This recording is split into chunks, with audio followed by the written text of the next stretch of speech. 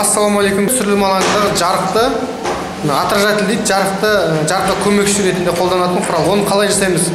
Бұны бізге қазір ә, суретші салауат пен оператор серікбол көрсетеді.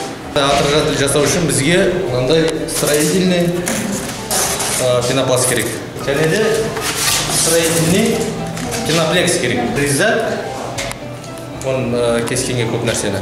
Мынаны скотч двухсторонний скотч. Екеуін бір біріне жабыстырып жаңағы мына нені фольга дейді бұны тоже строительный. Ә, осыны жаңағы жабыстыру үшін. Ә, двухсторонний скотч негізінде. Бұны жабыстырамыз. Бұл мықты скотч екеуінің арасын ұстап отырады.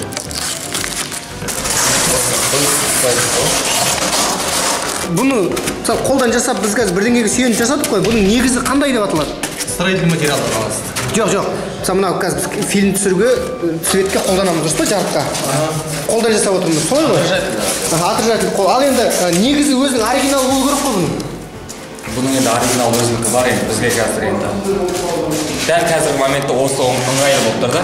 Жоқ бұл жұмыстың сапасына оң әсер ете ма дегенім ғой. Әрине бірдей ғой сапалары.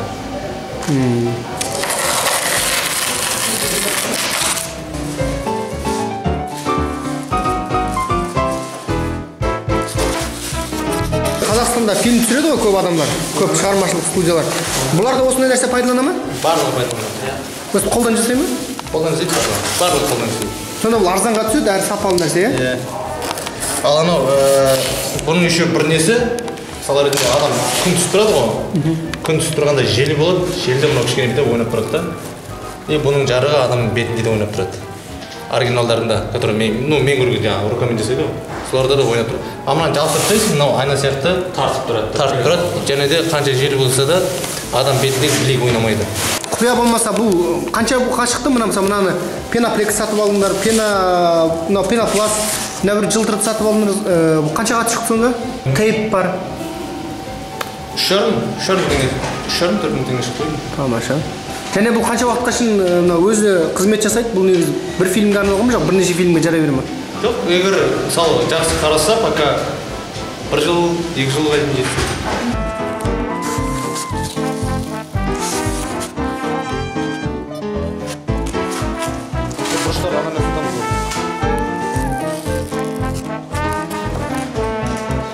мынау нәрсе бар ғой енді. Түсінікті ғой жарықты күшейту үшін адамның бетін крупный план түсірген кезде көмектеседі. көмектеседі иә.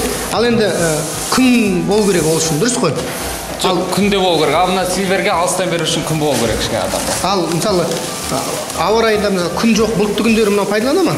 Бұлтты күні көп пайдаланбайды. Тек мына пенка жағы ғана ақ жағы ғана пайдаланамыз астына Мынау, иә? кішкене, кішкене ғана бұл жарық свет бере алады да.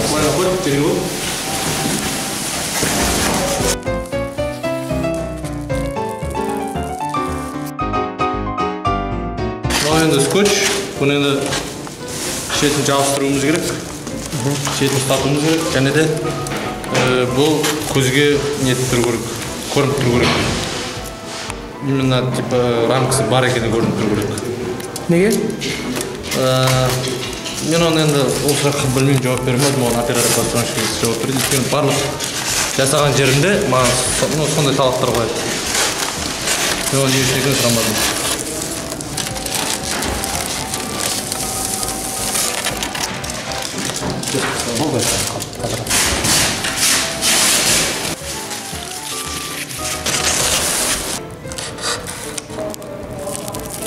бұл ә, өртке қауіпті ма қауіпсіз бе өйткені түсірілім алаңында жарықтардың температурасы жоғары болады ғой. Ә, негізі қауіпті еріп кетеді лап етеді жана кетеді бірақ енді ол барлық жерден қауіпсіздік техникасын сақтаймыз ғой. Соны қалай мысалы үшін? қалай сақтайсыз жақын ұстамай иә? Иә жақын ұстамайсың мысалы ретінде сондай нәрсе ал бұл жанса негізі оны. Өте жақсы ғой ұстап тұрыңыз мынау енді біздің дайын болған отражательіміз мынау сильвер бұл жаңағы жесткий свет бергенге мынау мягкий свет мягкий свет бергенге адамға адамның астына мысалы крупный план болса бұл астына қояды кішкене бетіне уже мягкий свет береді да так мынаны алып тастап көрсетейікші алып тастады қойдық мягкий свет уже жарық пайда болды. Да ал күн далада түссек мысалы натурада түссек күн шығып тұрса мына алыстан береміз да. Отражатель Бұл не үшін? бәріне болады. Бұл негізі не үшін? Бұны негізі не үшін көп қолданады? Мысалы кинода ана мұрнның астында көзінің астында мойнының астында көлеңкелер болып қалады қап қара болып ол тень ол адамға өте жағымсыз көрінеді ол. Сондықтан мыналарды мынаның мынаның арқасында соларды жоғалтамыз да. тенді жоғалтамыз. Бұның көмегі көп пайдасы бар.